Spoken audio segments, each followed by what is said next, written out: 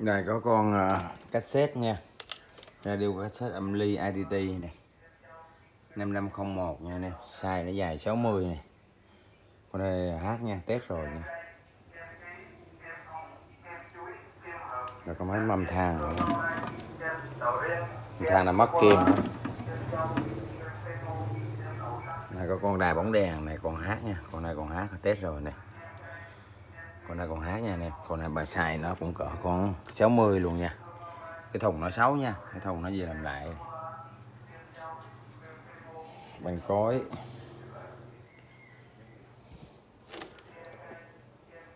Này có cặp lo telefuken này anh em.